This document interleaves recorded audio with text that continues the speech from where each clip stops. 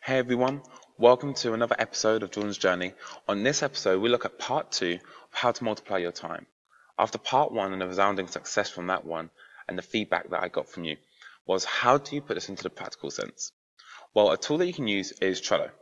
If you simply type into Trello, into your search tab, you'll be presented with this software which is free. There is a paid version, but the free version I've been using for years, absolutely no reason to upgrade.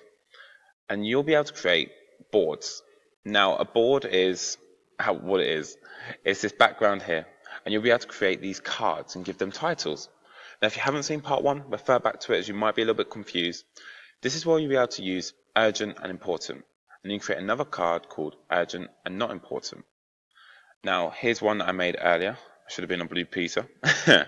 if we go to Study Fast, this is how I control my life of Study Fast.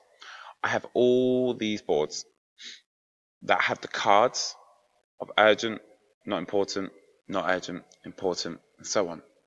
Within them, I'm able to put these little tabs of tasks, and I can distribute them in terms of their relevance. Now, the great thing about Trello is you can have checklists. So for the daily videos, I have different topics which I can simply tick off. So multiply your time by two, I can tick off. And you can also create deadlines.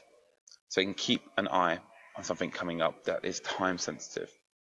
Another little feature, you're able to put little labels on them. I've used this with my sales pipeline to show when people have become a client or if they're still a prospect. And of course, a great feature with a terrible memory, you can add comments. So if you're not sure what stage you're at, you can leave comments for not just yourself, but you can invite other people. So if you have a team, if you're working on a group project, you can invite them onto a Trello board, have your to-do list, and you can say, you know, task number one done, John take over.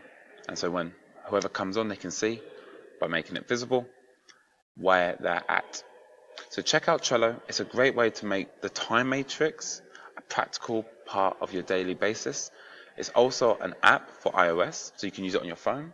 And the great thing is if you don't have Wi-Fi, you can put in the to-dos, and then when you do get Wi-Fi, it syncs it all back up.